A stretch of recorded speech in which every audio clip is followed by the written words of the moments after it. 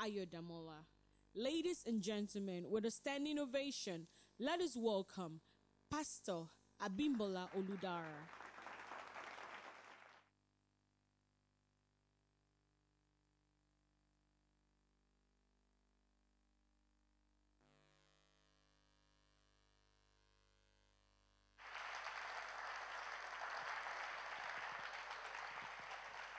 Without Jesus, we won't be here today.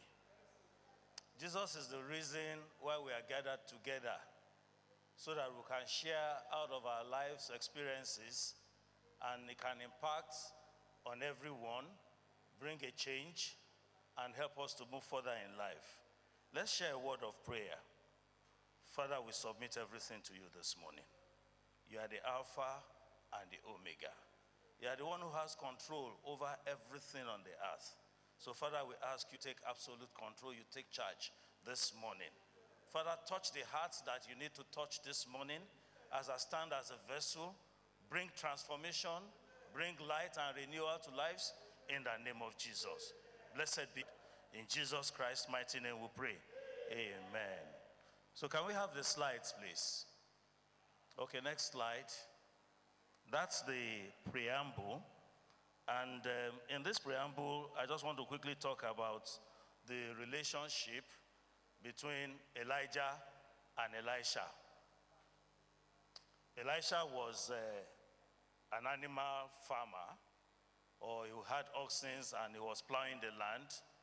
And I'm sure that uh, Elijah must have uh, watched Elisha and he must have had direction from God to choose Elisha as his assistant and, of course, his successor.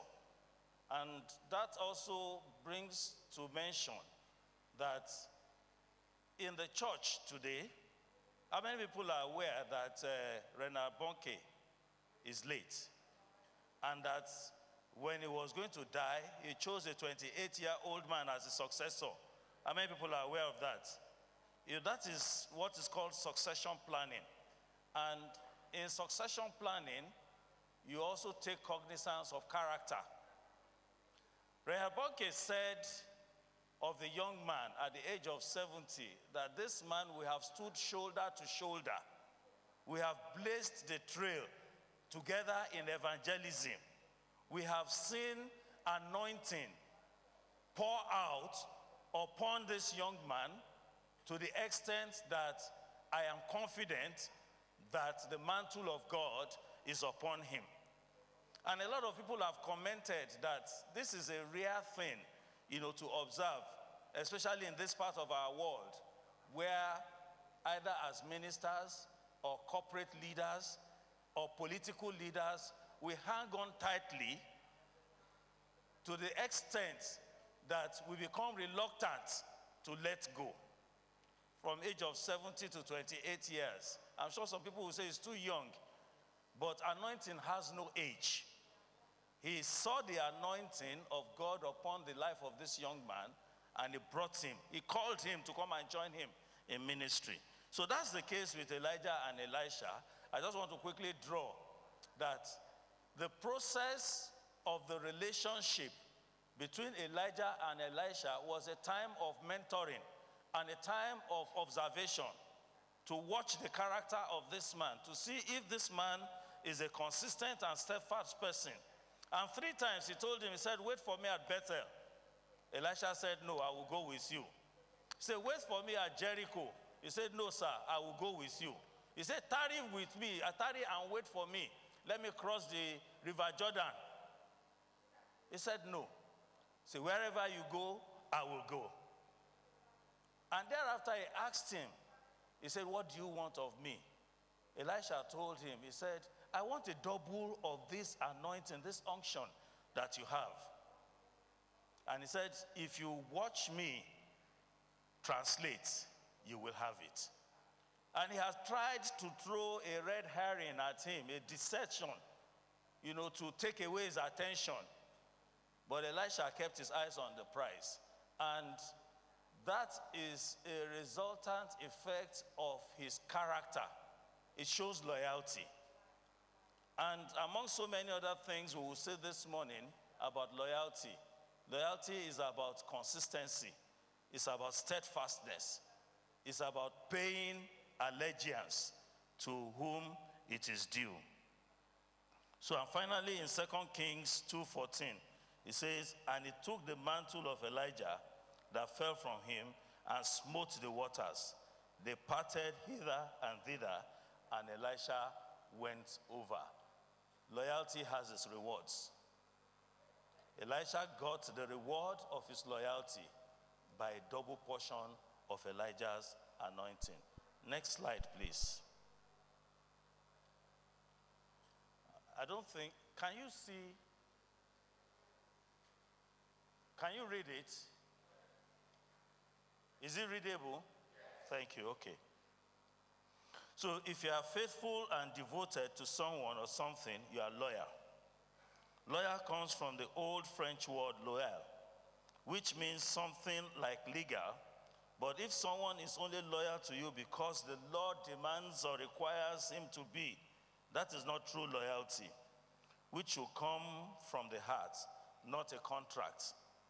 So, some of the words that can be described or used instead of loyalty will be allegiance, faithfulness, fidelity, obedience, fealty, dependability, reliability, trustworthiness, consistency, constancy, dedication, devotion, and adherence. Of course, the opposite of that will be treachery, disloyalty, and also betrayal. A case in point Judas betrayed Jesus. We'll get to that later. But very strictly, the real opposite of loyalty is betrayal. When one is not loyal to a cause, to a belief, or to a person, that person has betrayed the cause, has betrayed the belief, has betrayed that person's friendship. Definition of loyalty is the quality of being faithful to someone or something else. An example of loyalty is how a dog feels about its human owner. Let me, at this point, issue a disclaimer. God has only given me the providence, the opportunity to stand before everyone today. I am not here to condemn anybody. I'm only here to highlight some certain things that can help us as Christians, you know, and as people that do business in the marketplace. Praise the Lord. I also, in the preparation of this presentation, I have learnt a lot and it has caused me to do a lot of reflection. When I was five years old, as at that time I was the last born in my family then. And because of an incident that happened when I was two years ago, two years old, when I lost my biological mother, there was this tendency for a whole lot of people in the family to shower me with so much affection and attention. And I think my father realized that if this child should grow up like this, with this kind of entitlement, he may not become a better person in life.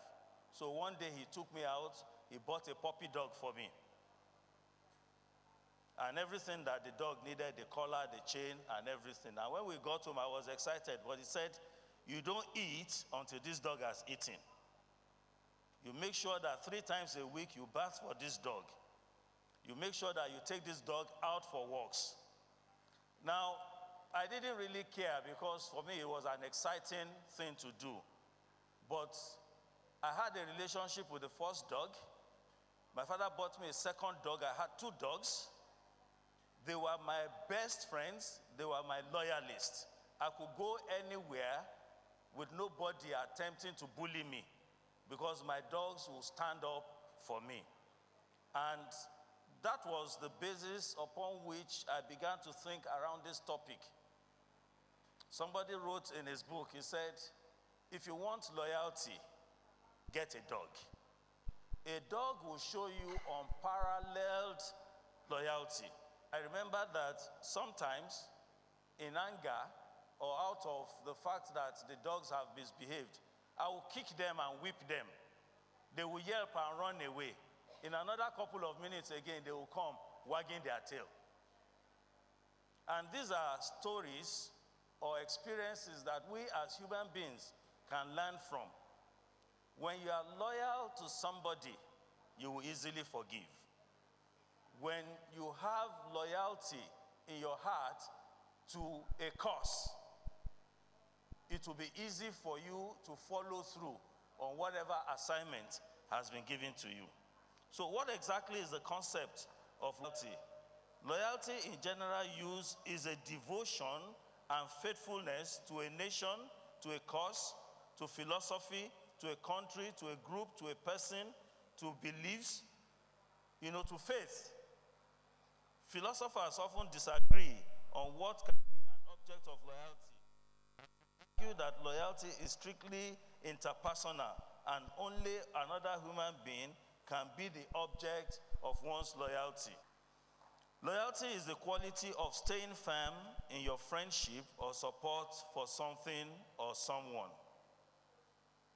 Now, skip all this about uh, the old French, you know, because that's just, uh, you know, the philological or the genealogy of the word loyalty through different languages. But loyalty is also the state or the quality of being loyal, faithfulness to commitments or obligations, faithful adherence to a sovereign leader, a belief of faith, and a cause. An example or instance of faithfulness, adherence of, of a man with fierce loyalties. Now, today, I have something here, which is uh, the, the Nigerian uh, map. Of a truth, most of us we, at one point or the time or the other, we are mandated to take, you know, an oath of allegiance, especially maybe if you belong to the military or you are a politician, you take an oath of office, which is like an allegiance to the country. But daily, every one of us, we have at different times, maybe in schools or in our areas of endeavor, we've been required to take the pledge it will surprise you that some people till date is. The pledge is an allegiance of your loyalty to the nation in which you belong to, the Federal Republic of Nigeria. Says, I pledge to Nigeria, my country, to be faithful, to be loyal, to be honest, to serve Nigeria with all my strength, to defend our unity and uphold our honor and glory. So help me God. We are pledging allegiance to the country. We are showing loyalty to the country. Just like in the military, loyalty is a very important and core component of the relationship code between junior officers, senior officers, and vice versa. A senior officer or an officer would demand total loyalty from his soldiers. Do you know why? Because if he cannot ascertain that his soldiers are totally and extremely loyal to him, in the day of battle, orders may not be obeyed. And that is why in the military, loyalty is considered a deep core value. Even in corporate organizations today, you begin to see that competence is not the only yardstick for getting along in organizations. Somebody says that I would rather employ an average person with 100% character than an extremely smart person with zero character. that person with zero character is most likely going to put you in trouble in the future. But an average person can still be trained, can still be helped to perform very well, and that the most important thing is that he has good character. The one with zero character will rob your company blind. Next slide, please. is a character trait. Character is the maker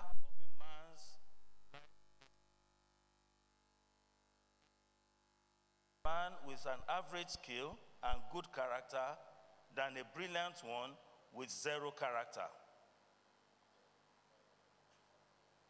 There's nothing that makes a man's life other than his character.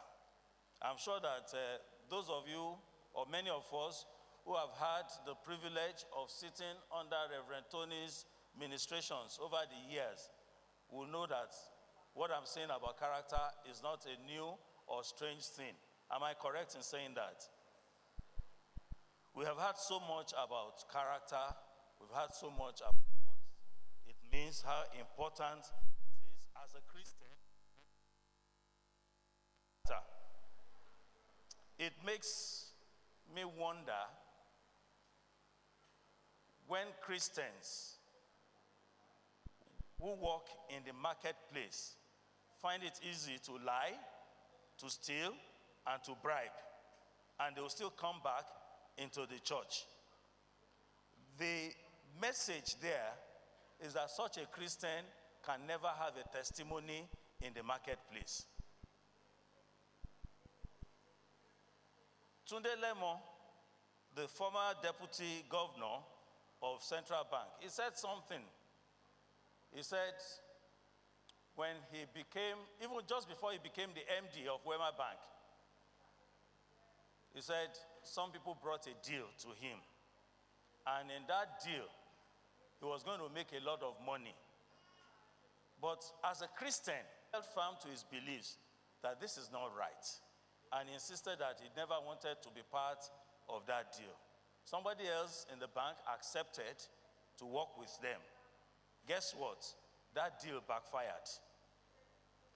Assuming, I'm sure some of you know that Tunde Lemo is a Christian, from the Foursquare Gospel Church. Also, I think at that time he was a deacon before he became a reverend. What kind of testimony would he have had if the newspapers had been awash with bank senior manager involved in a deal? Will it be easy for him to preach the gospel after that? Opportunity wasted. Praise the Lord. So, the issue of character is very important in the life of a believer. Character is the pattern of an individual behavior. It is a lifestyle of an individual, and the lifestyle of an individual can become a pointer to the character of the individual. Somebody who is shifty, you ask for the time of the day. Whatever he says, you still have to go and cross check to find out if that is the truth. In a workplace or even in the church, you have a meeting, you make a call to a brother. Where are you? I'm on Shogule Street. And then you step outside on Shogule Street. For the next one hour, you can't find the brother. People lie easily on the phone.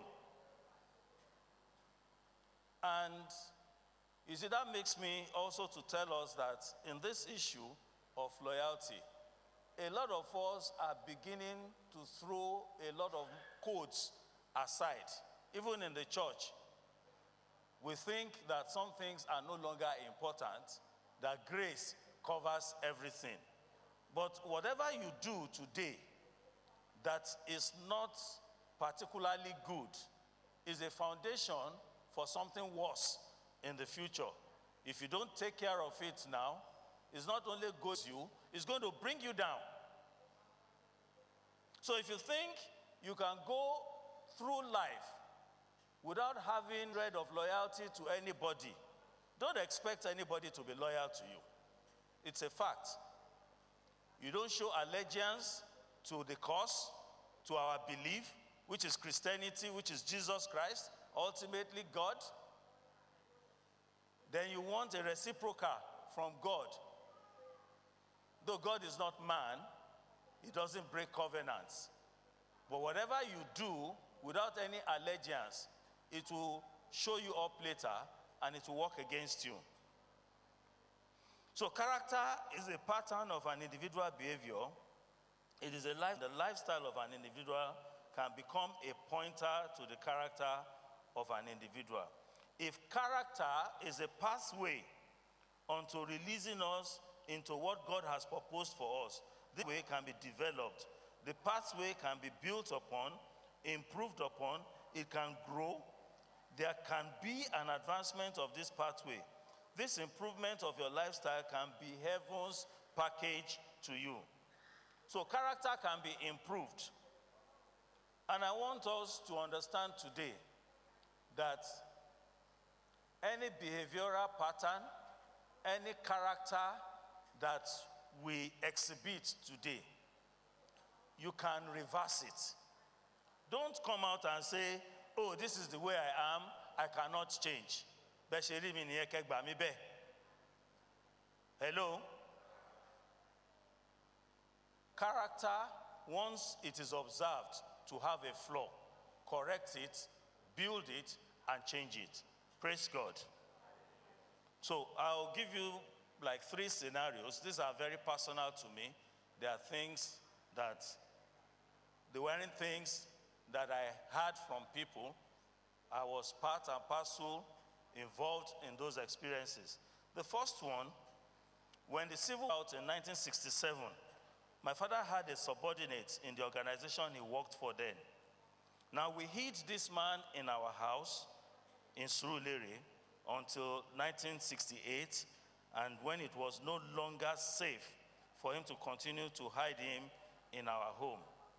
My father took him as far as Ijebode so that he could return back home. At the end of the Civil War, my father pulled all the necessary strings to back into the same organization. Now, fast forward to 1971.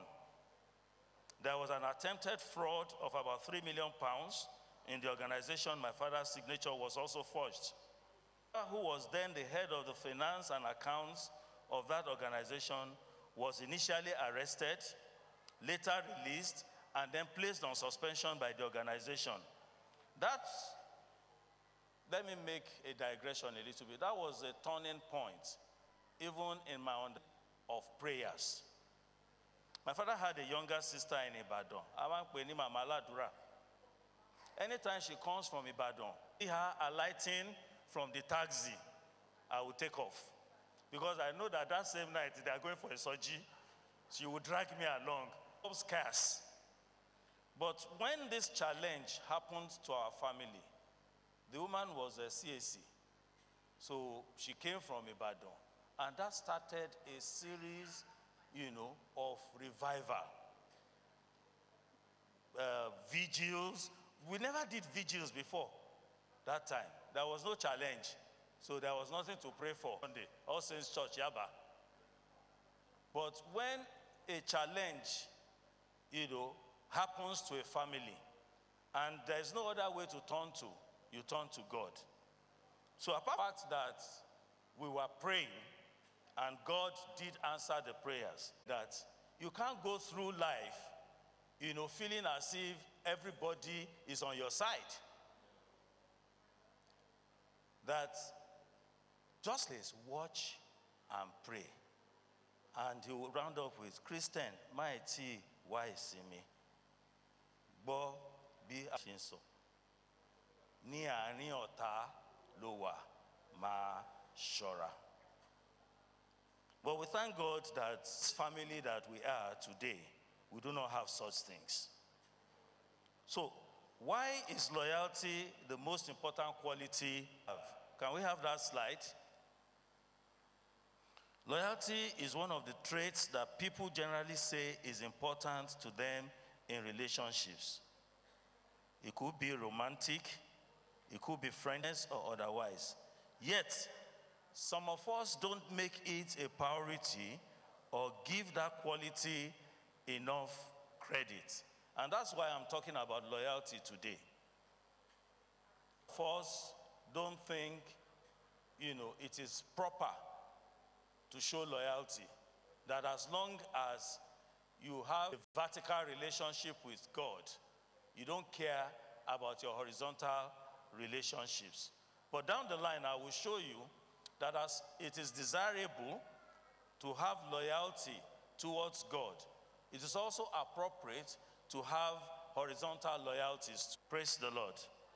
So, loyalty is the ability to put others before yourself and stick with them in good times. Show loyalty to friends, show loyalty to family and significant others by being honest, trustworthy, support, and generous. Maintain healthy boundaries with those around you so you can be loyal to them in a productive way. Now, loyalty strengthens the bond between friends, increases the trust between them, and you know you can always open up to that, all of which is needed for a friendship to grow and sustain. Four traits of a loyal friend that we from. A loyal friend is honest, and a good rule to remember don't expect loyalty if you cannot provide honesty. Loyal friends are impartial. They might sound blessed, but it is not in an apathetic attribute. What it means is that when you have a friend who is impartial, you can expect that whatever this is, that person is going to tell you the honest truth. What I've also discovered is that a lot of people are too deep to be honest with their friends. I prefer somebody to be very blunt with me. Just tell me the way it is. Don't go round and round because I don't understand that kind of diplomacy. I don't know if you understand what I'm saying.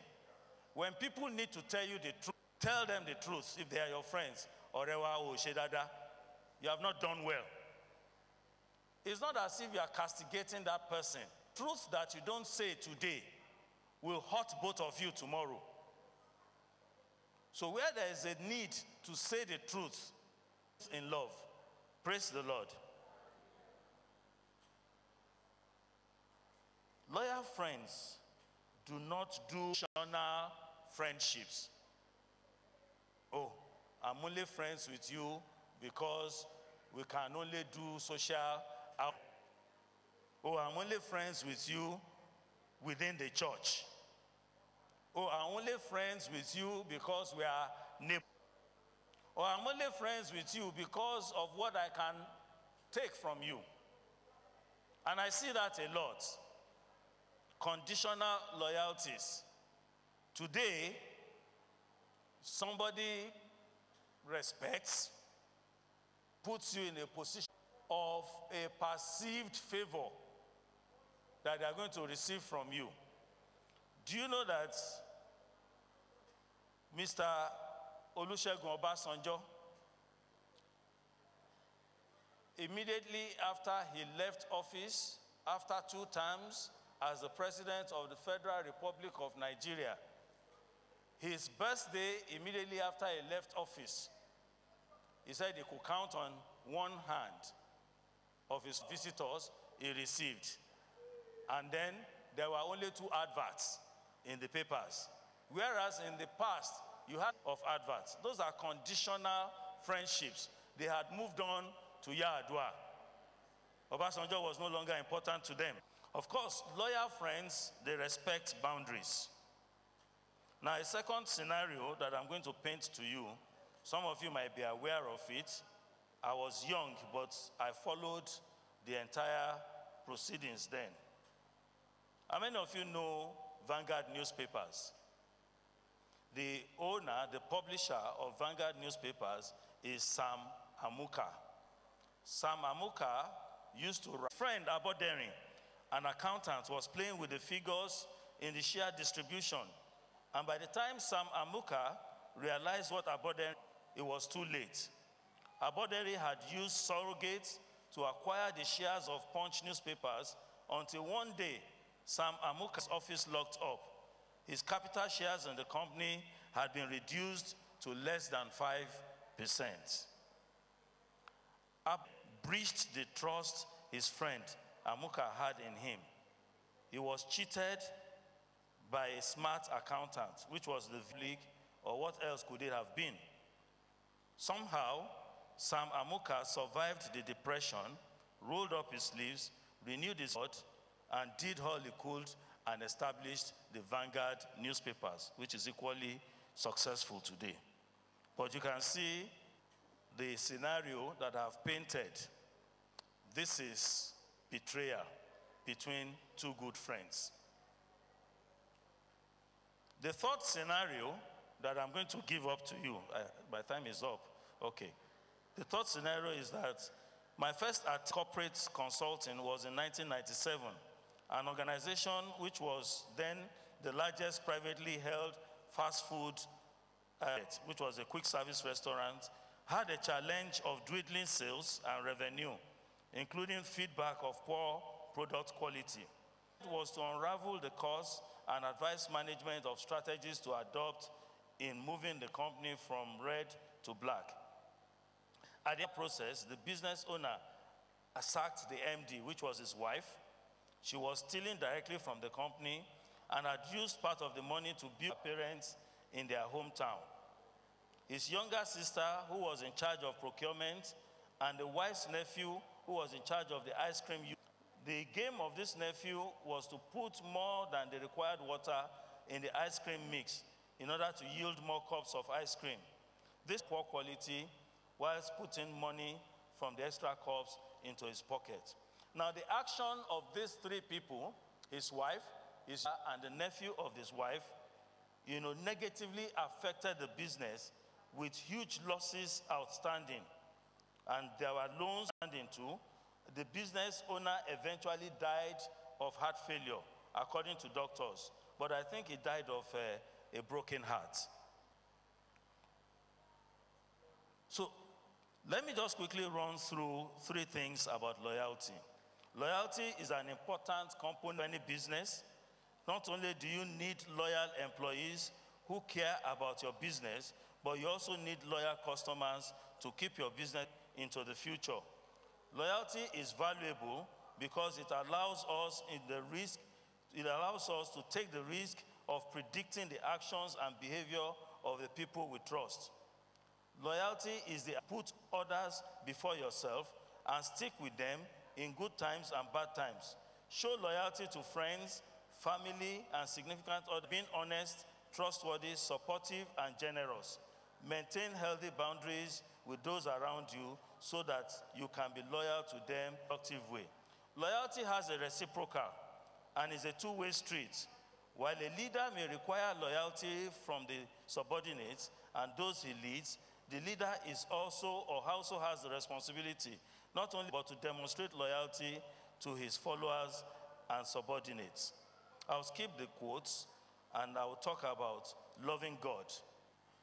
Loving God means being loyal to the one God. When Jesus says that the most important command is all that you have, all that you are, your heart, your mind, your soul, your strength, he was citing a verse from Deuteronomy 22 37. Jesus made it clear that this does not mean loving God instead of people. There is a to love your neighbor in the same way as you love yourself. To care about the well being of the other person about your own. Jesus understood that God's heart is aching for justice and mercy. So, loving God involves doing it once, showing justice and mercy to everyone.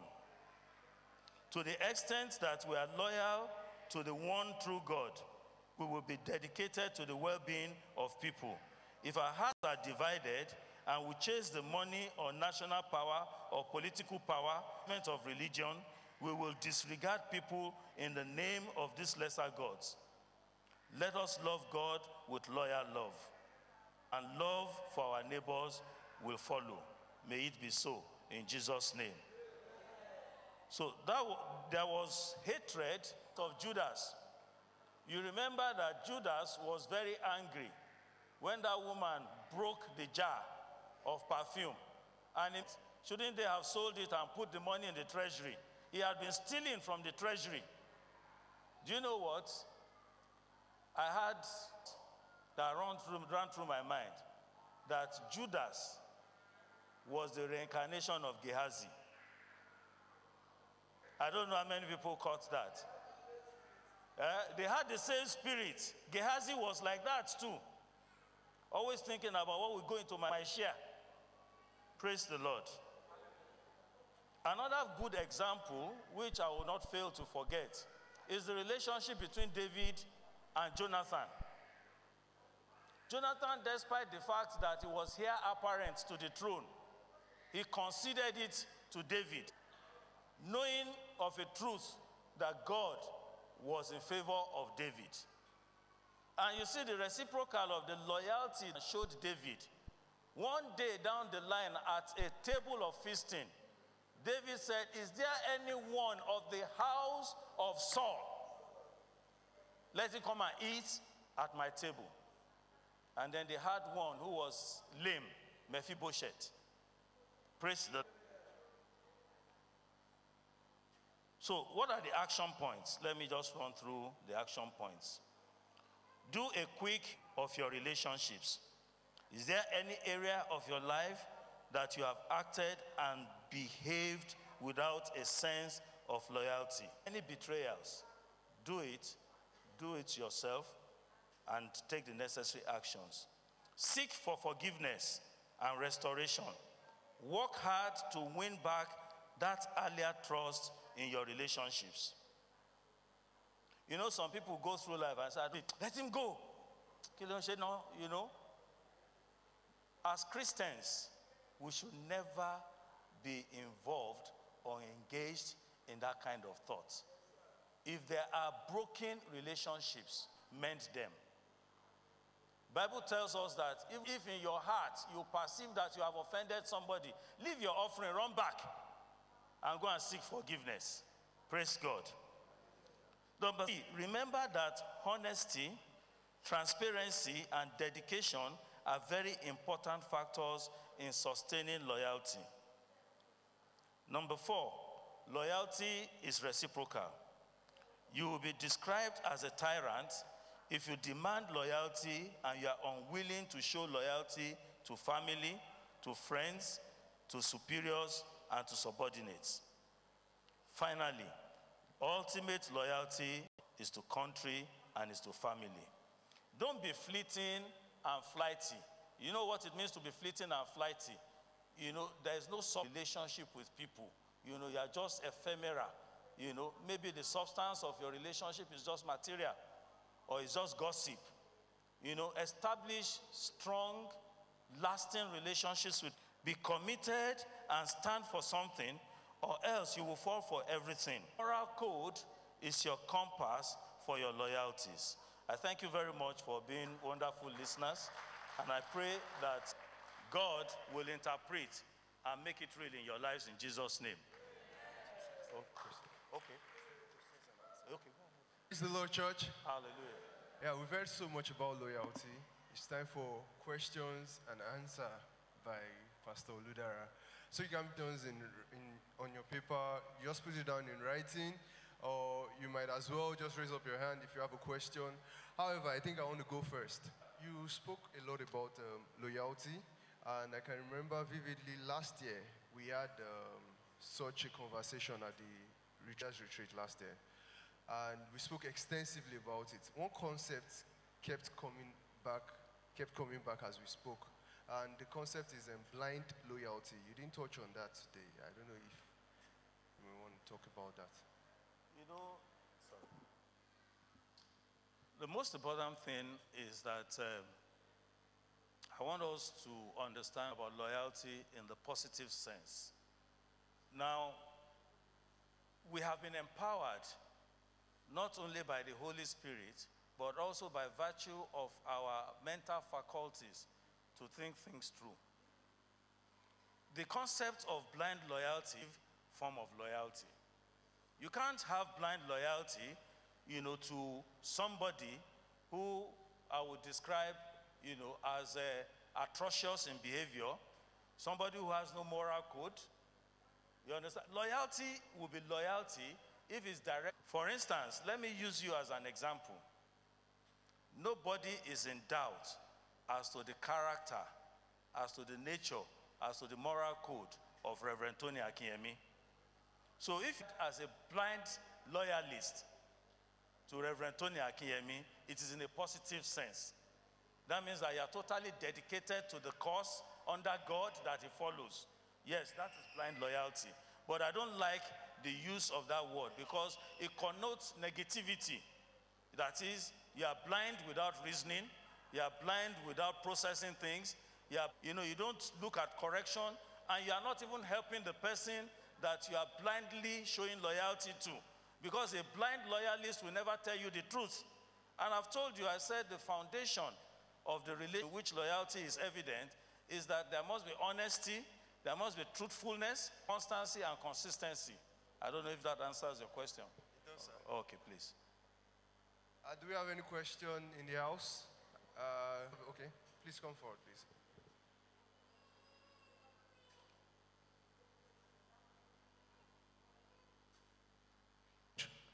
My name is Tim Tokwe. Um, sir, I like the loyalty that Peter showed Jesus in the Bible when he cut off the hair of, um, in defense of the masters, of his master. Uh, is it advisable as Christian to go to such extent? Come, please come. You see, what you have done is that, uh, thank God that all of us are students of the Bible. You have only taken one, you know, of that action. The flip side is that Jesus Christ responded. Do you remember his response? What was his response? I think I've answered your question. You know. For those who don't know, Jesus Christ actually admonished Peter. He said, It is not too difficult for him to call down a legion of angels to defend his cause. So Jesus Christ abhors violence. And as Christians, we should violence. The violence that we should engage in is violent prayer. Fire, fire. eh, eh. You can engage in that in the closet. See, for those who are younger here, I just want to throw an information. You don't respond and react to every situation that you are confronted with physically. Certain things, you take the shame of a moment to go back into your closet to play, and then the glory of God manifests. Praise God. Sir, we have um, two more questions. The first one says that considering today's world and today's economy, please my business so as to checkmate my family and staff. Well, I don't understand how that relates to loyalty. So, who is it that one will be loyal? A friend who he or she trusts so much, but at the end he or she backstabs you. Because I'm a loyal person to my friend. The, for the person who raised that question, let me tell you something which may not be new to everybody. Betrayals, disloyalty, they are the currency of our existence. Hello?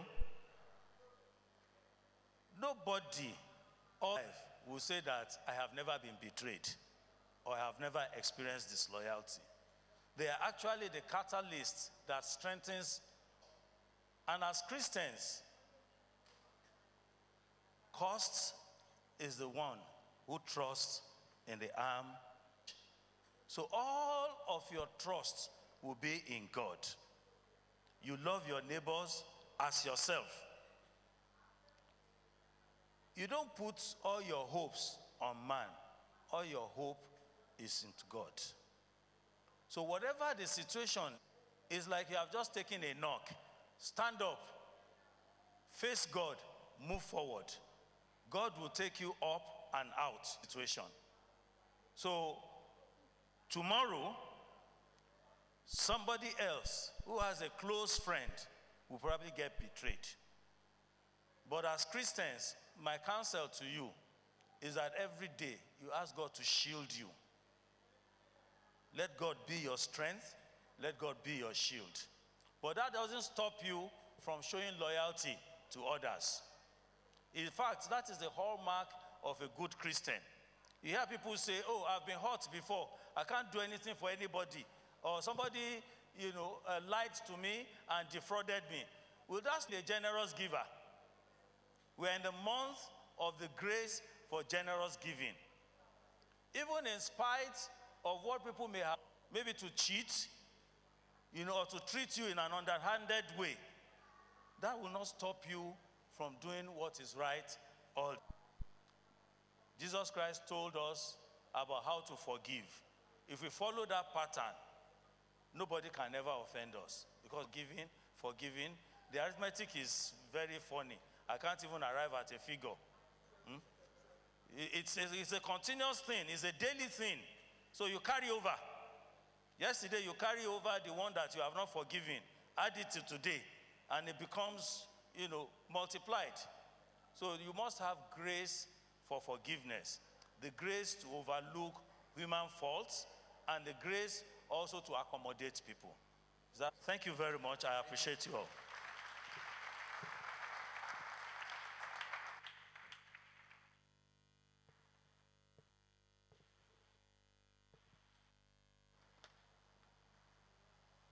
Morning, everyone.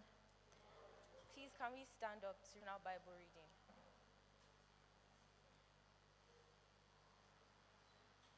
Today we'll be reading from Acts, the chapter 4. We'll read the last verse together, 37.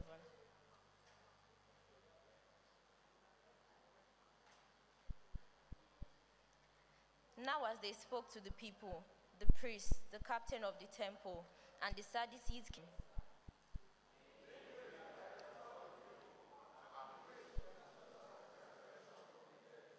And they laid hands on them and put them in custody until the next day, for it was already evening.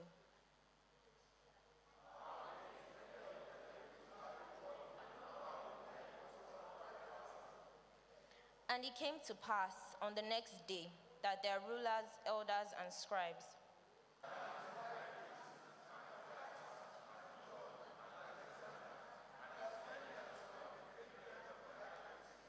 By what power or by what name have you done this?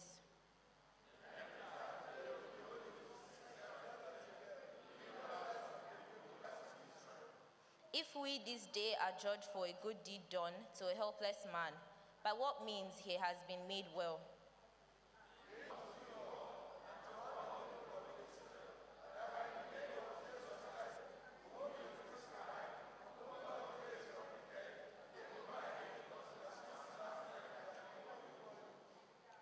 This is which was rejected by you builders, which has become the chief cornerstone.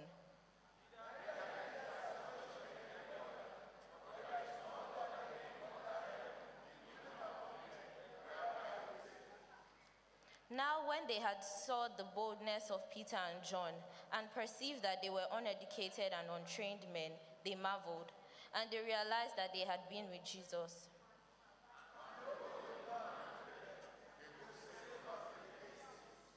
But when they had commanded them to go aside out of the council, they conferred among themselves.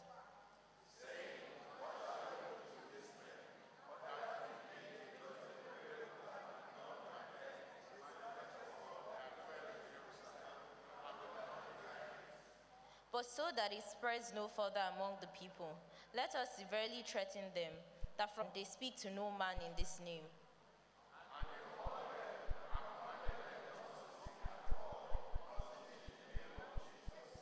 But Peter and John answered and said to them, Whether it is right in the sight of God to more than to God, you judge.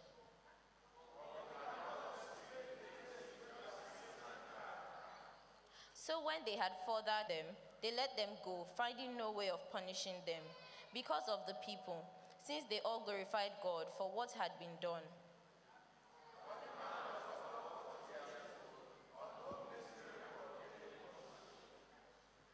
And being let go, they went to their own companions and reported all that the chief priests and elders had said to them.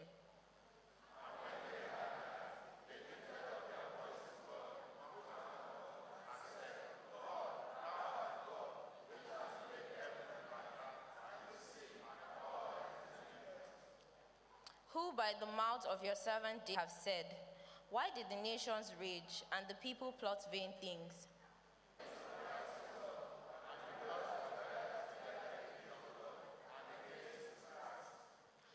Truly, against your holy servant Jesus, whom you anointed, both Herod and Pontius Pilate, with the Gentiles and the people of Israel, were gathered together.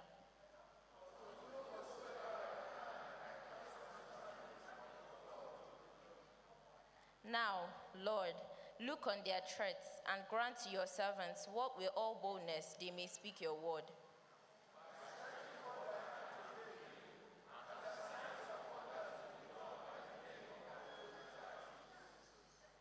And when had prayed, the place where they were assembled together, and they were filled with the Holy Spirit, and they spoke the word of God with boldness.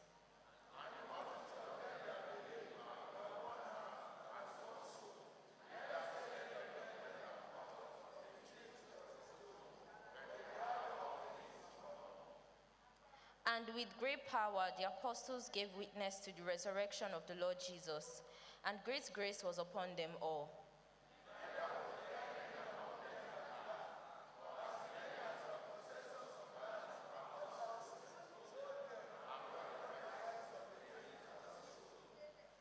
Apostles' feet, and they distributed to each as anyone had need.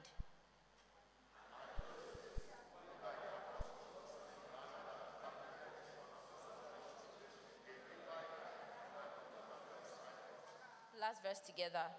Having land, sold it, and brought the money, and laid it at the apostles' feet. May the Lord bless the reading of his word.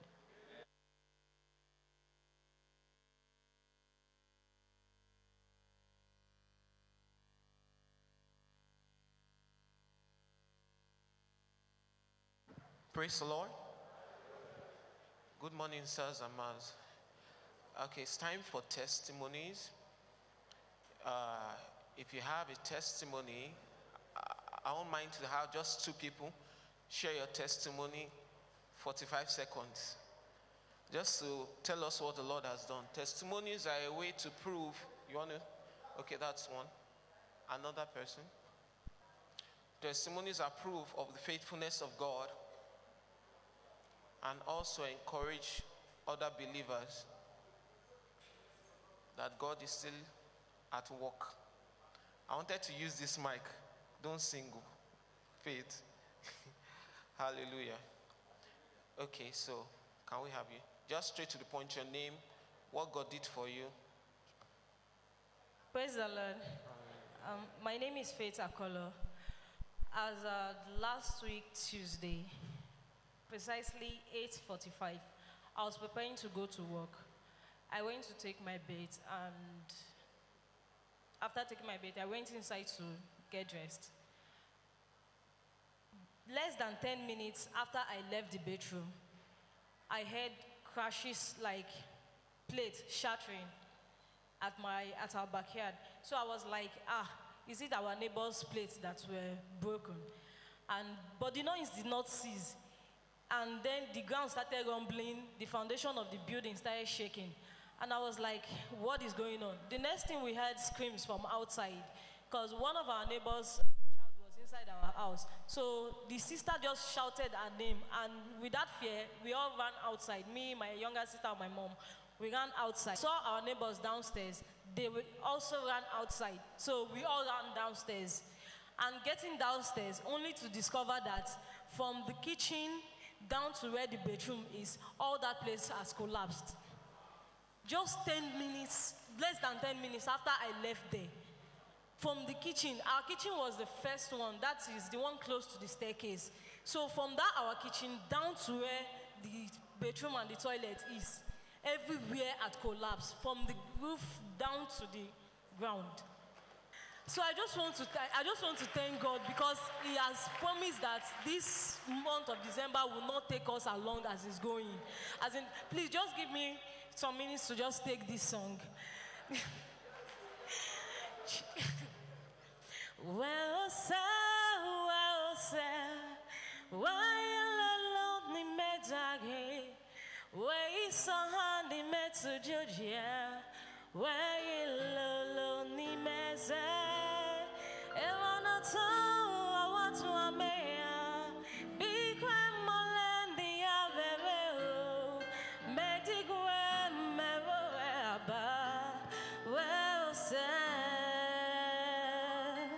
thank you, Jesus. Praise God. Hallelujah. Okay, um, my testimony is kind of long overdue, but I didn't want to give a half-baked testimony. I thank God because I wrote my last exam in lag on October 29 and my results came out, they were good to the glory of God. I went to study law for five years and I came out well. I want to thank God for the journey. In my set, it was as if every year, every session, someone always died. In year one, we had, in year two, we had Ade, he died of a car accident. In year three, we had Linda, she died of uh, an electrical fire accident. In year three, we had Prince Will, slumped in his hostel and died. In year four, we had Kola, he just convulsed out of nowhere. And some of these people were my friends, unfortunately, but I know that they're in a better place. I thank God because He helped me throughout during exam times. We had an incident, too, of a girl, uh, Itunu, during exam time. She ran out of her hostel, she had a mental breakdown, and she began to tear her clothes. And thinking about all these people, it's not like I'm better than any of them. It is just the mercy of God that kept me true. And I want to give one particular testimony of a course I did in year two that, well, I didn't fail because upon investigation I found out I didn't fail, but they gave me an F. And it was a very trying time. I remember my mom and I going to the faculty, going around trying to find out what happened, going to meet lecturers. In fact, it became an issue that my course advisor and my lecturer were not in talking terms for that. But I thank God because I had to sit for the course again and the devil tried. I mean, it was during that time that our dean of my faculty enforced a, a university rule that if you don't miss 65% of your attendance, you can't write exams. And it was not the time for that lecture that was now clashing with another lecture I had. I them to arrange the time well and everything, but to no avail. So I was um, splitting between two classes. And when the result for the attendance came, I had 64% for the one that I had an F, and I was like, ha. Anyways, God resolved that one for me to the glory of God. I sat for the paper and I got an A to the glory of God. And finally, I want to thank God for how He preserved me throughout my health. There was a time that I had a major, it was only really major, but it was an health, a health issue that I had to be admitted for. They said I had a kidney something, pyelonephritis. And during that time, I thank God for how God helped me. My mom, he really gave her the strength and everything. And my testimony for this basically is about a roommate I had. I can't remember her name now. Our own issue was even worse. She had seizures and brain seizures. And even with that, this girl, you see her, she used to be up and down, up and down. In fact, they had known her at the center a lot because she was always there frequently. And this girl, she will still come, borrow my slippers, say she's going somewhere. And I'm like, ah, don't you have people that you can call that can go and help you out with this? They said she has called and they are tired of her, basically. And I thank God because during that time, I, I, didn't have that kind of experience that there was anything wrong, that I had to live by myself. I had people that were always there with me, helping me through, and I thank God for that, to the glory of God. I also thank God people that from this church that helped me throughout the journey. I pray that God blesses each and every one of you in Jesus' name. Amen. Okay. Can we just pray for our testifiers? Father, we give you praise. Thank you for your faithfulness over every life represented here. Thank you for the covenant, the covenant of protection, the covenant of preservation over everyone here. Father, that covenant will not be broken. In the name of Jesus, we will not die prematurely. We will not die before our time. In the name of Jesus, we give you praise. In Jesus' name we have prayed. Hallelujah. Hallelujah. Hallelujah. God is an awesome God. He does mighty things. I want you to ask your neighbor this morning, what have you come to do? Get your response. I have come to praise God. I've come to love Him. I've come to lift him up. We've come to praise you, oh, we've come to love you, oh, we've come to lift you for the good things you. We've come to praise you, oh, come to love you, oh,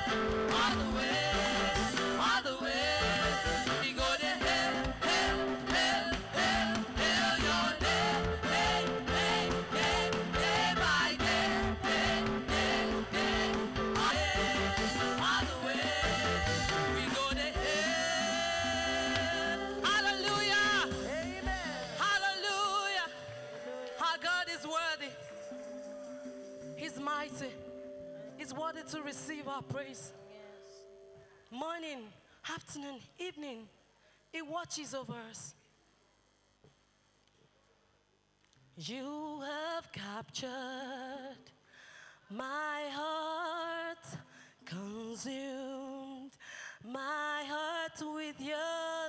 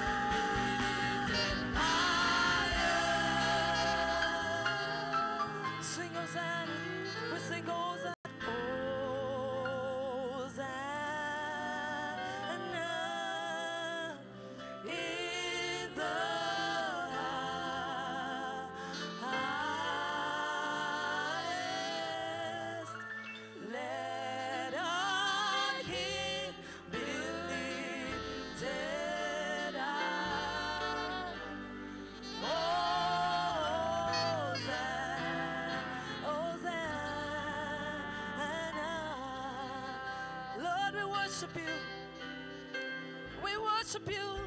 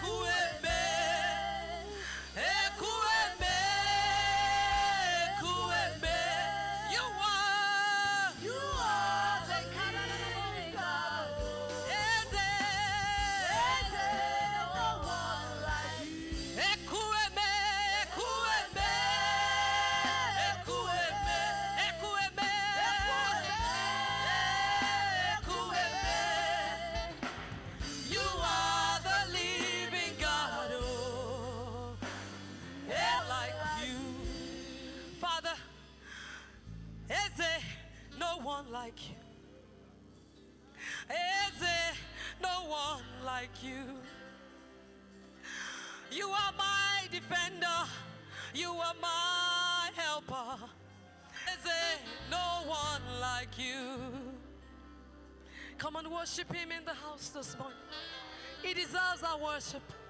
it is deserves our praise. Call you Jesus.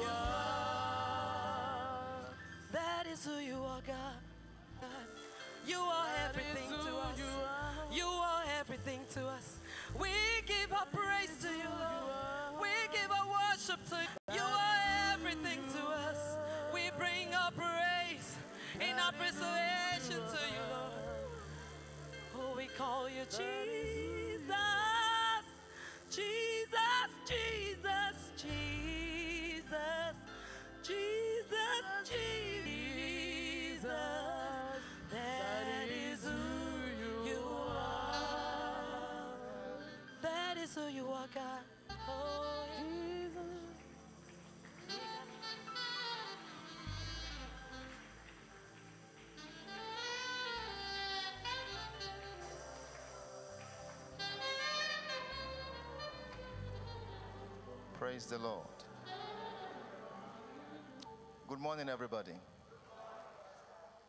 I want to thank uh, Reverend Tony in absence and Mom C and thank the church leadership for this opportunity and privilege. Really honored. Can we lift up our hands to Jesus one more time? And let's just give him worship and glory. Let's magnify him. Let's glorify him. He is worthy of all our praises.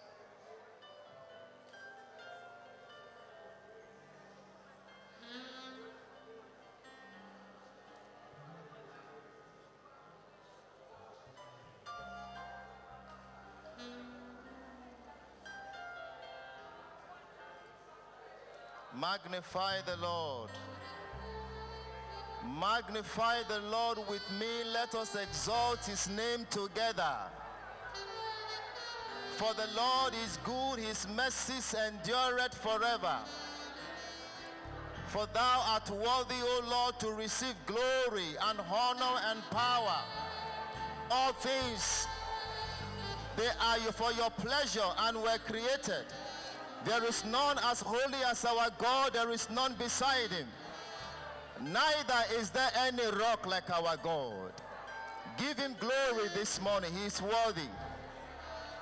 He's worthy. He's worthy. He's worthy.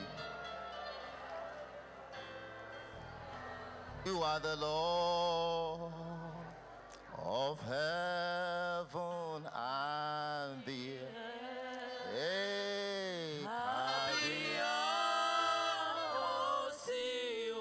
Everybody lift your voice and sing. Help me lift your hands and sing it to him right now.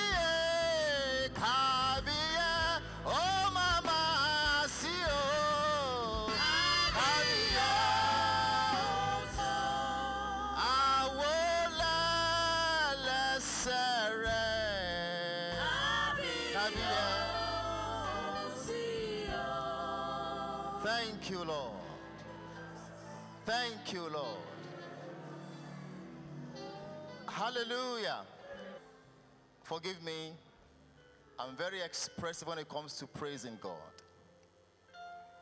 I'd like for you to worship in one moment. Èmi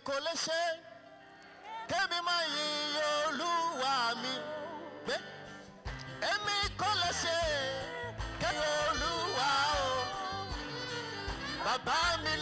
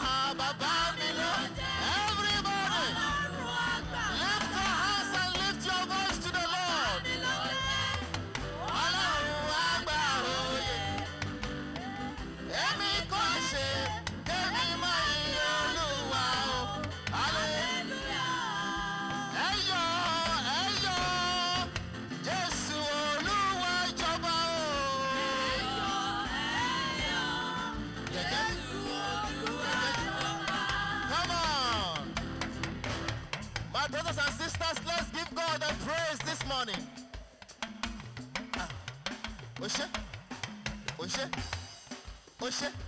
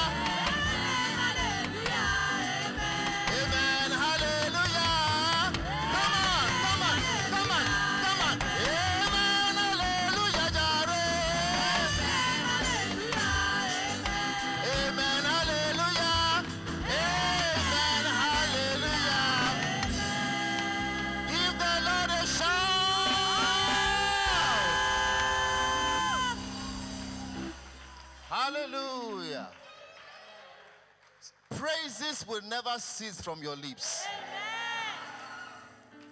You shall yet praise the Lord. Before we hit 31st, somebody here will come with an offering of praise and joy. If you are that person, shout a big. If you are that person, shout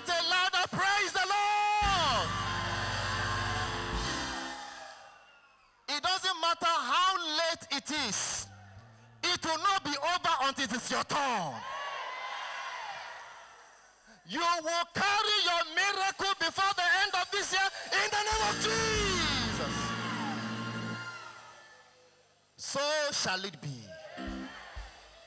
So shall it be. We lift you up, Jesus. We glorify your name. Let there be a word in season to everyone that is weary. Lord, anoint our ears to hear. Anoint our hearts to receive. Cause that there will be a flow of your word to us today. And we live here graced by God. Never the same way we came. Put your hands together. Let's celebrate him as you have your seats. Thank you, choir.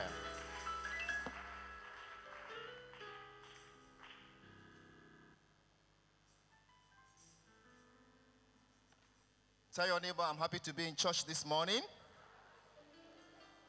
And I know God has something special for me today. I want us to briefly consider the subject grace to reign. Grace to reign. Grace to reign. And I'd like for us to pick our first Bible reading on, this, on the subject from the book of Revelation, chapter 5.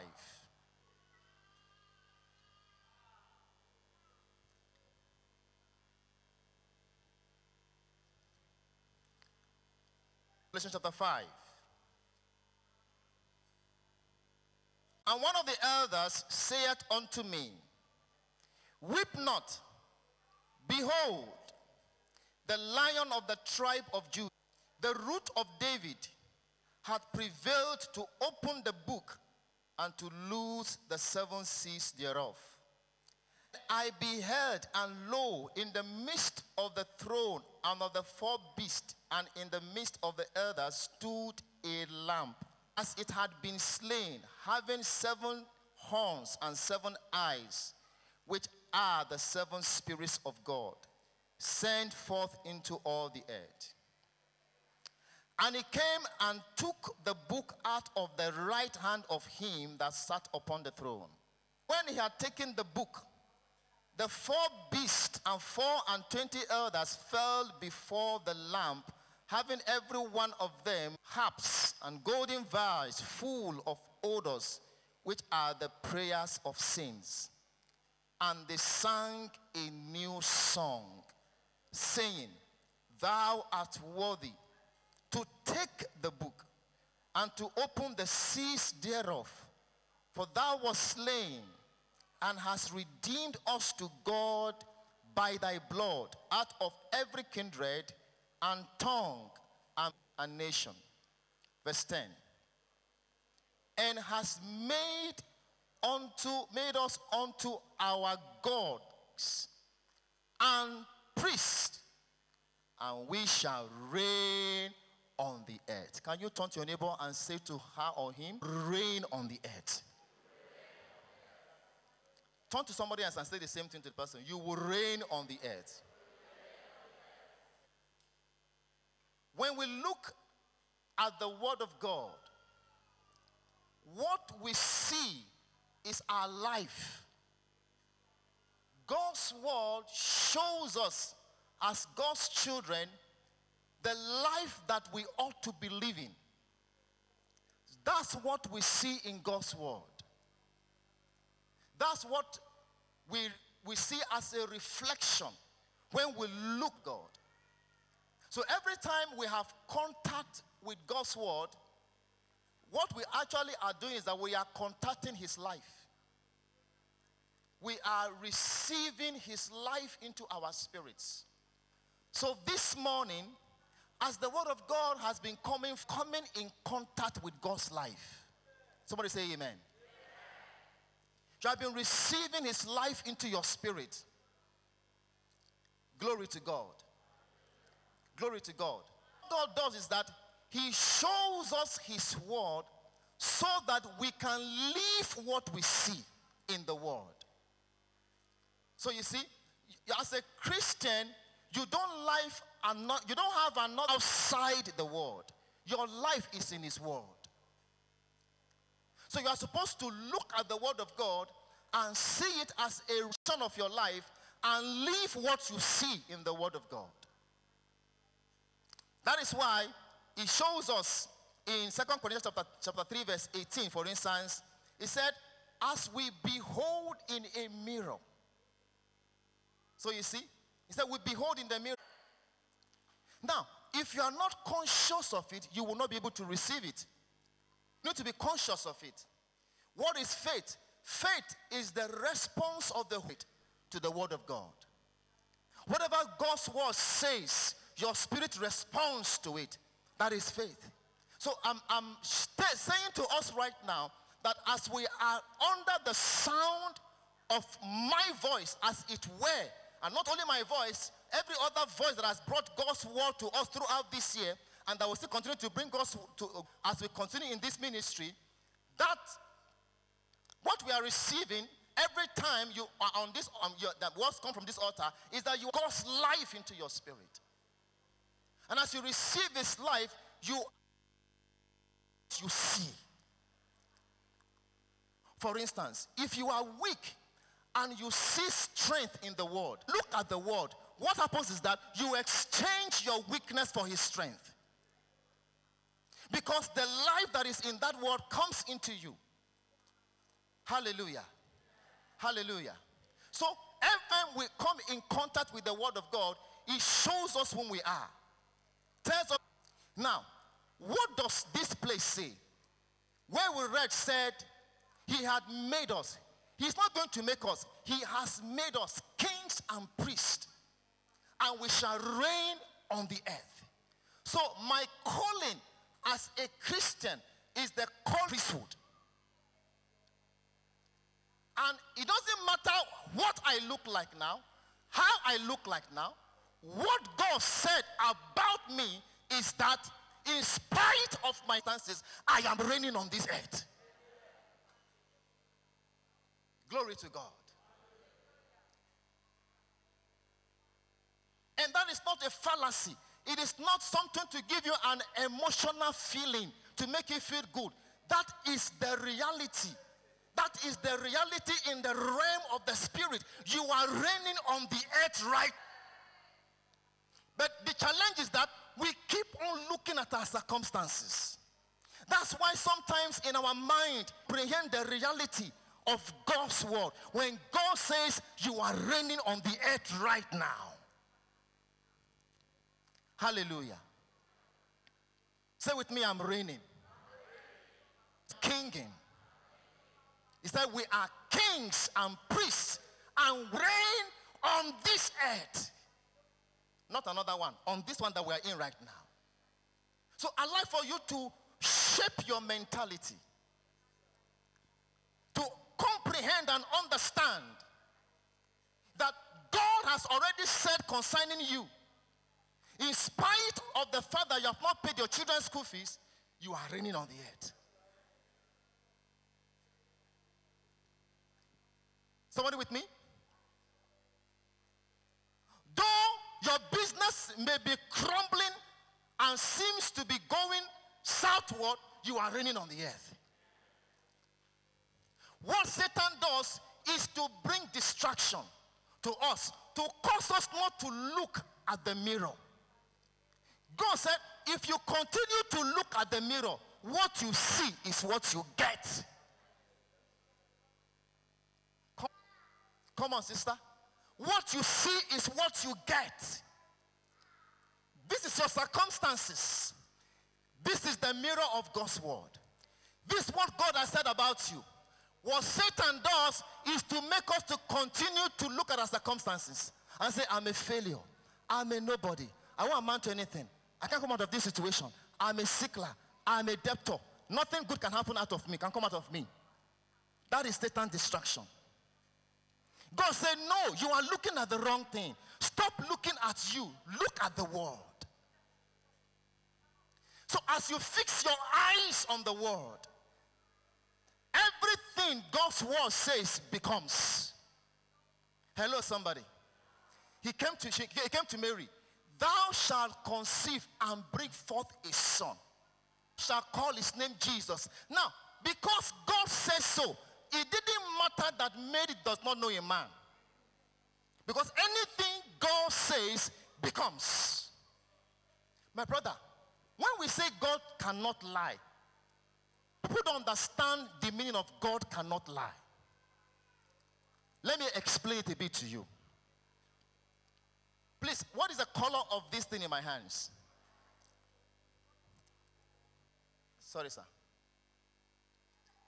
The thing is this.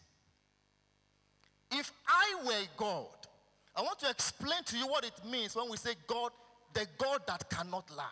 If I were God and I came, sorry, if all of you together were God, after it says, yeah, gods. Praise God. If all of you were God and I'm a man and I came to you, collectively you are God, and I came to you, let's agree that all of you would tell me that the color of what I'm holding is blue. Is that correct? Now, if I and okay, I came to God and I want to play a prank on God to, to see whether it's actually God. And I put this handkerchief behind me and I ask all of you being God, I said, tell me the color of the handkerchief I'm holding and putting behind me. What all of you say? No, no, no, no, no, no. I said, you will tell me that it's blue. Is that correct? Now, all of you as God has told me that this handkerchief in my hand is blue. Then me as a man, I'll just say, ah, And I thought they said, this handkerchief is not blue, it is white. As I'm bringing it out, the handkerchief becomes blue. Because there is something in the DNA of God that whatever He says must be as He says it. That's what I'm going to. Whatever God says must be as He says it. It doesn't matter what the other thing is. When God comes to someone who is sick and says you are healed, it doesn't matter the level of sickness. My brother, you are healed. So anything God says becomes. So he, he came to darkness and said, Light be. And the Bible says, and there was light. Why? Because there's something about God that that it makes it impossible for him to lie. He said that by two immutable things by which it was impossible for God to lie. So he told Sarah, You will conceive, even in old age, notwithstanding. Whatever God says to you, my brother, my sister, it will come to pass. That is why you must keep on looking at the mirror, keep on looking at the world. Your circumstances is lying to you. That is the lie. That's not the truth. The word of God is the truth. I'm in heaven. Glory to God. So when God says you are reigning on the earth, what do you do? You jump up and shout, Yes, I am reigning on this earth. Hallelujah. Hallelujah. Glory to God. So he says, We shall reign on this earth. Earth. Now, God, in his infinite wisdom, has given us a dimension of wisdom by which, and that dimension of wisdom is his grace. Romans chapter, chapter 5. Everyone.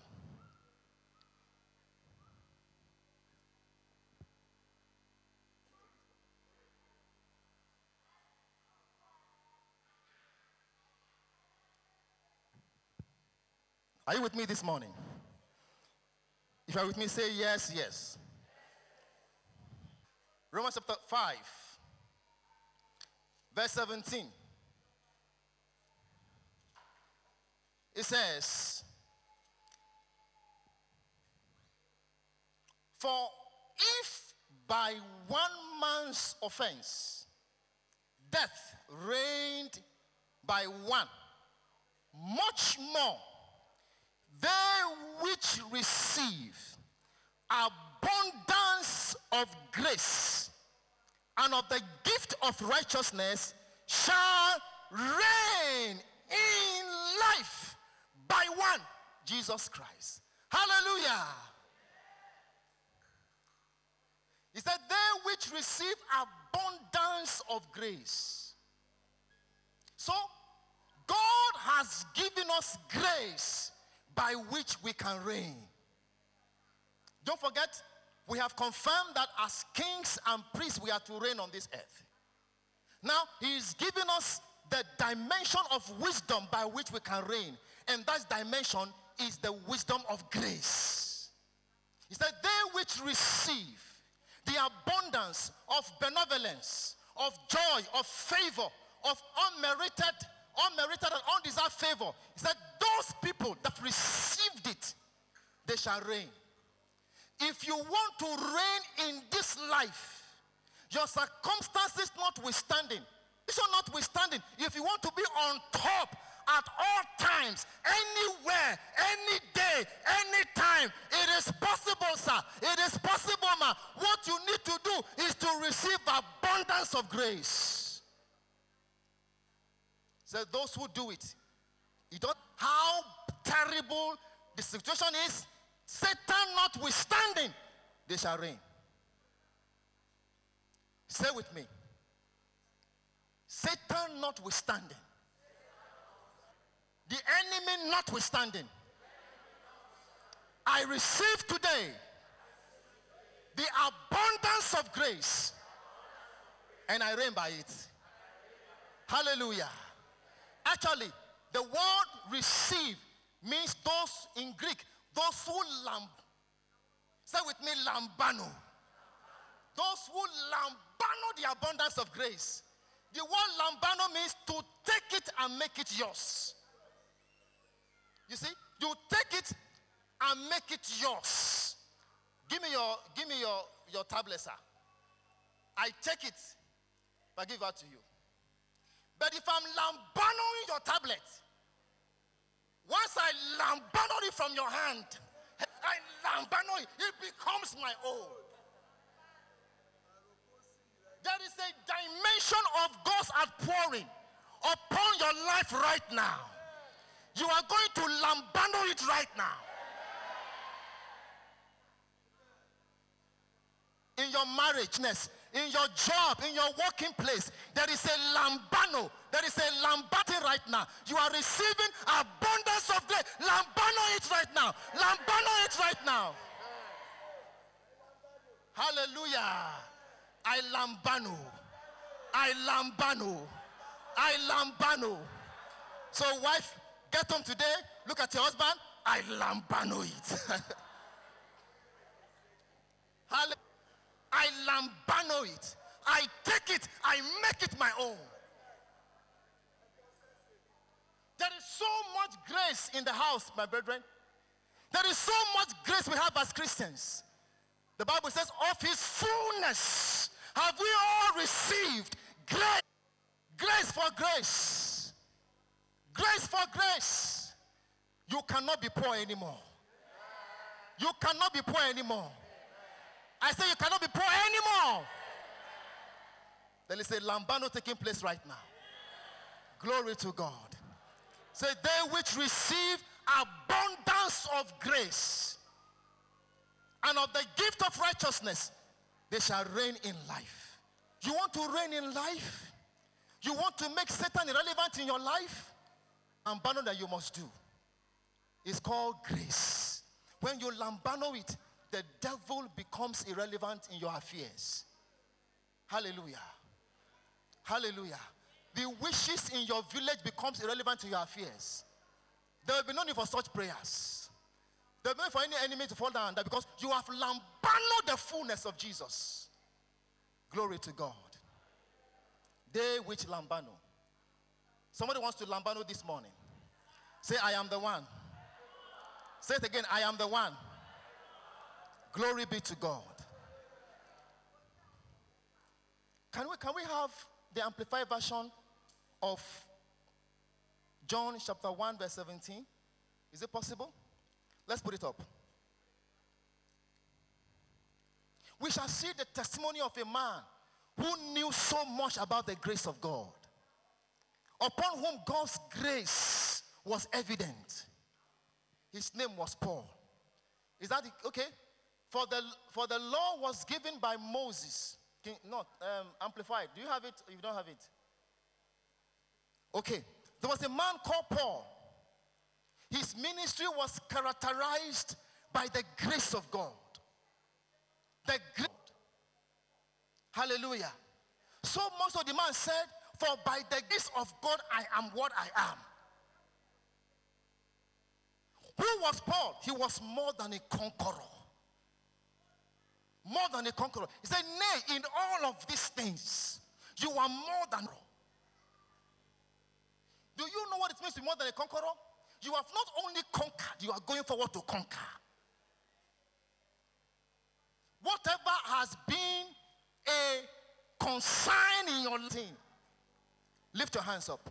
As the year goes to an end, I declare you more than a conqueror.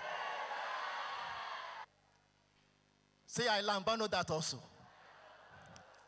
Glory to God. Is Amplified version up now? Okay, we don't have it. Let's proceed. Now, this man says some things about grace. Three things I want to show us, and then we'll continue. In Romans chapter 16, let's open to Romans chapter 16.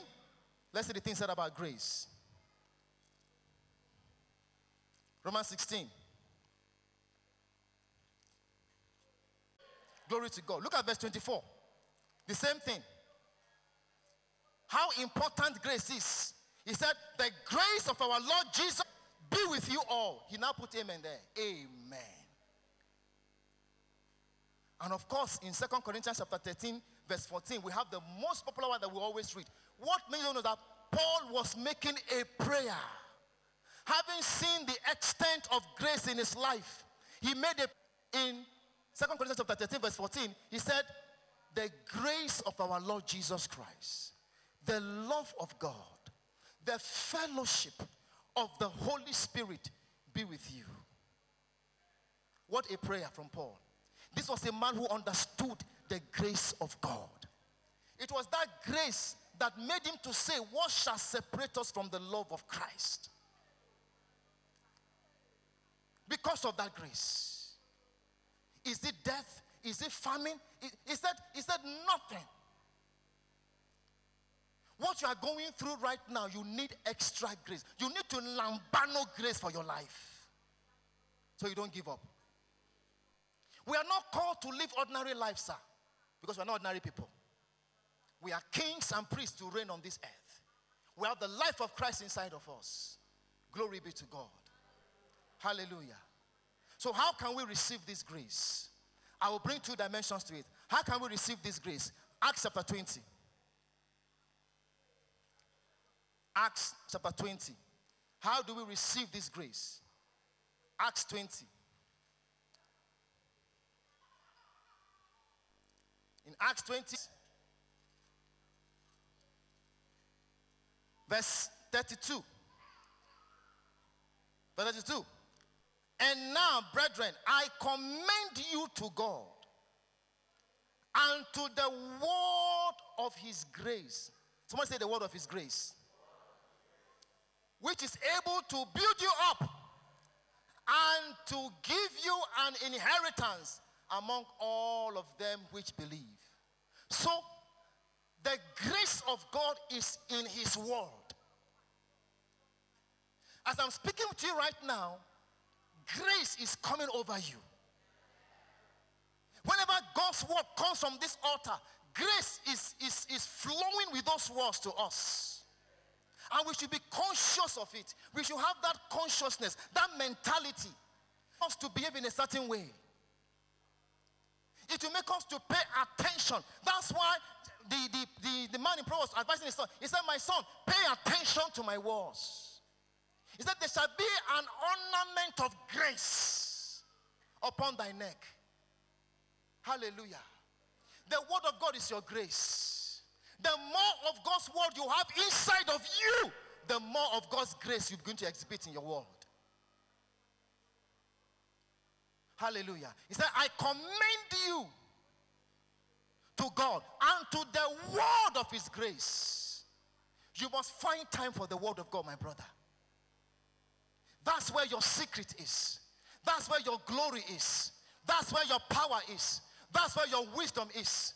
That's where your strength is. You must find time to study, to meditate upon the word of God and receive grace into your spirit. I commend you to God and to the word of his grace. Hallelujah. In 2 Peter chapter 1, chapter 1, verse 2. 2 Peter chapter 1, verse 2. Grace and peace be multiplied unto you through the knowledge of God and of Jesus our Lord. Is that grace and peace can be multiplied. There can be a multiplication of grace in your life. Somebody say, I want that. Another person say, I want that. There can be a multiplication of grace in your life. How will it? Through the knowledge through the knowledge. So grace comes by knowing Jesus. The more of Jesus you know, the experiential knowledge you have with him, the more of God's grace you enjoy. Hallelujah. Hallelujah. Hallelujah. Hallelujah. You can enjoy grace that can make you look as if you are proud or bragging. But it's just grace. It's just grace. Glory to God. I contacted Grace many years ago about marriage. And before I married, I said to my wife, I said, even if one million demons hang around my window, I will still have a very wonderful, glorious marriage. It was an insight into reality brought by grace, contacted from the Word of God. You need to sit down with the Word and contact grace in any area of concern in your life. When you have found it, there shall be a reward, and your expectation will not be cut off. When you have found the area of grace in the Word of God, you are automatically rewarded. There is no mountain anywhere. Every believer's mountain is their ignorance. There's no mountain anywhere. Every believer's mountain is their ignorance. Glory to God. Say, I'm contacting grace right now. Niba Ramata. John chapter 1. John chapter 1. Listen to this. Hallelujah. John 1, verse 14. And the word was made flesh and dwelt amongst us. And we beheld his glory. The glory as of the only begotten of the Father, full of grace. Full of grace. What is full of grace? The word. The word that manifested in the form of flesh is full of grace. When you receive, I'm telling you, there's no other way out.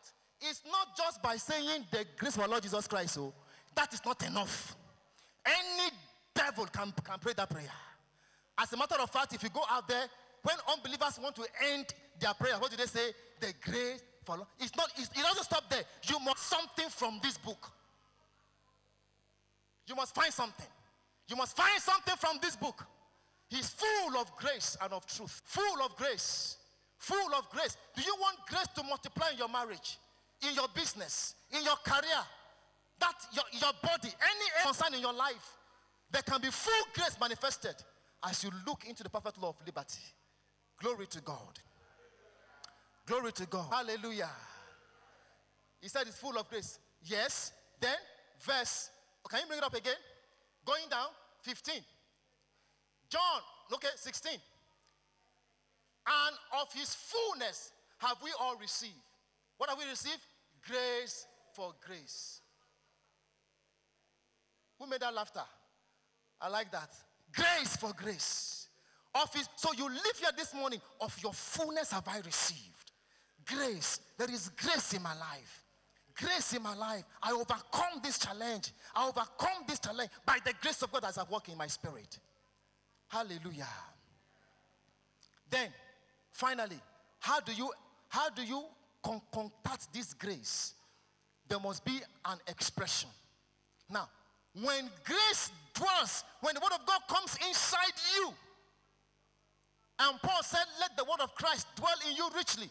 When that word dwells in you richly, there must be a, medium of expression for those words, and that is your lips.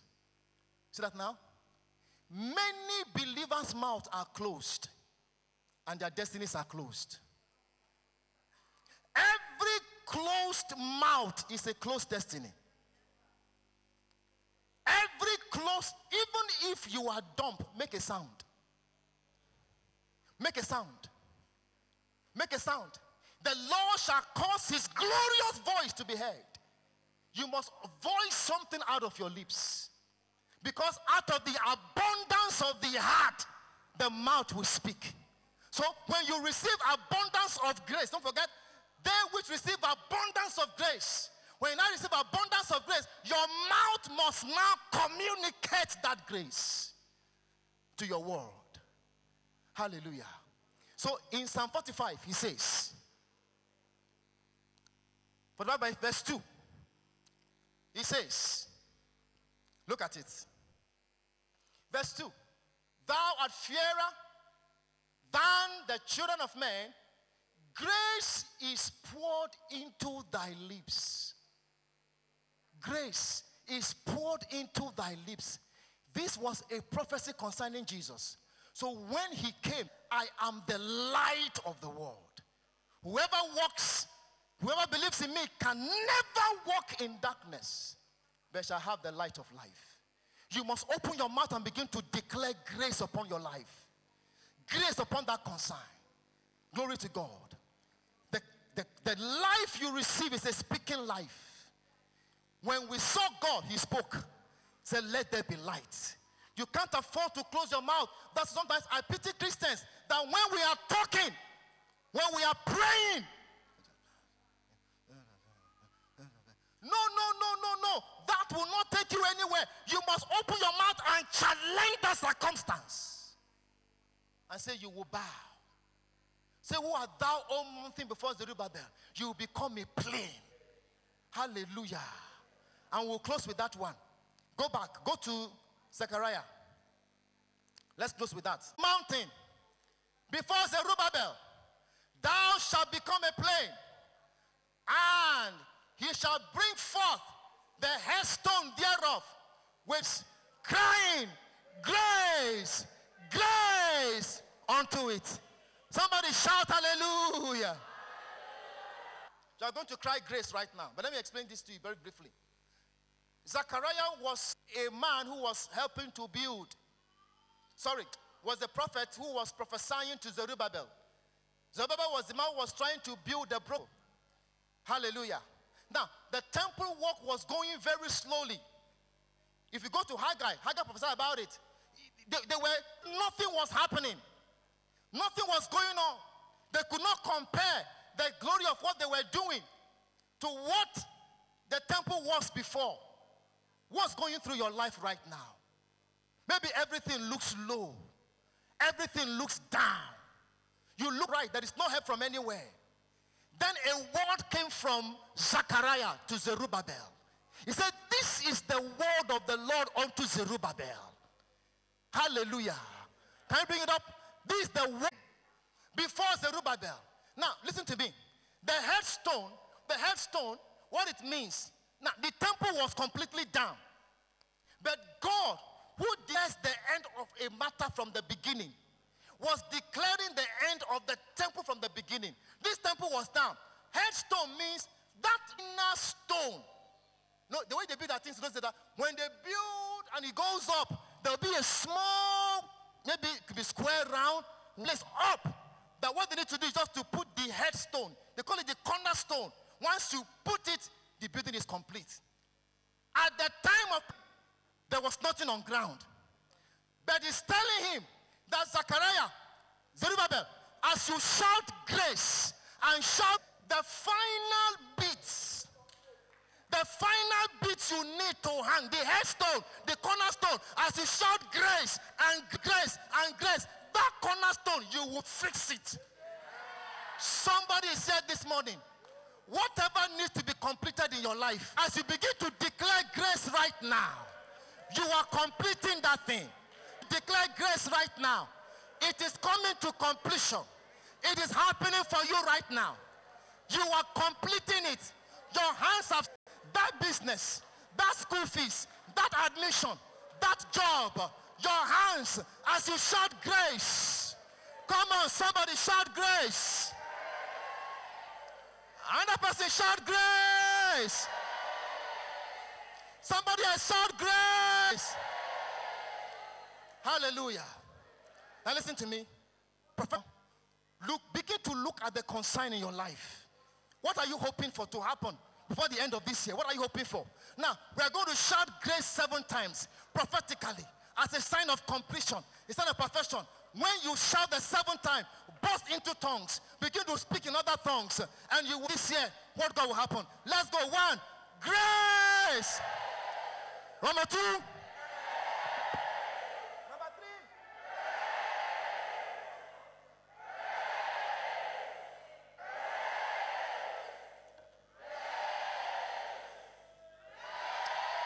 Begin to pray in tongues now. Begin to pray in tongues.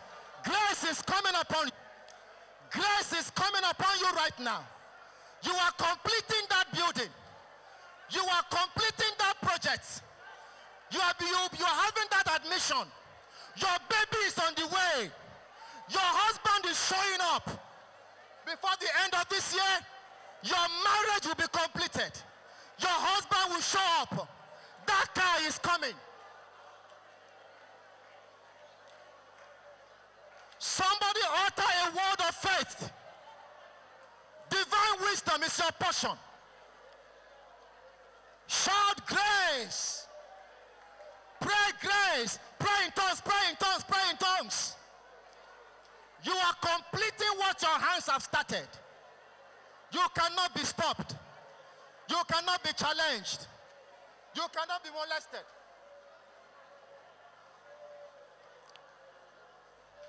Hallelujah. Hallelujah. Lift your hands towards heaven. I say to you by the Spirit of the living God.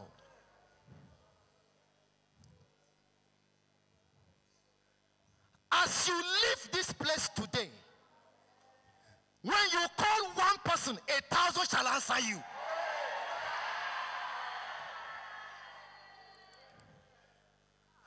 I say, when you call one person, a thousand shall answer you. Whatever your hands have laid, that seems to be in this, that seems not to be working. I speak to you right now. Your hands are completed in the name of Jesus. Any secret tears you are shedding, tears that no man can see, but that only God can see. Today, I wipe your tears in the name of Jesus. I say to you, anyone troubling your destiny,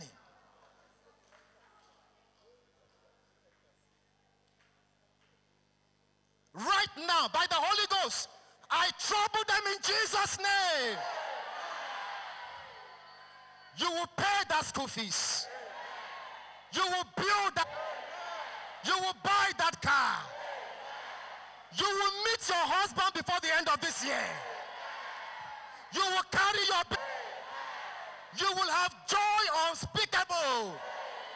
And you'll be full of glory grace upon your life right now. Give God praise, everybody. Worship Him. Bless the Lord. He's worthy. Glory be to God. Hallelujah.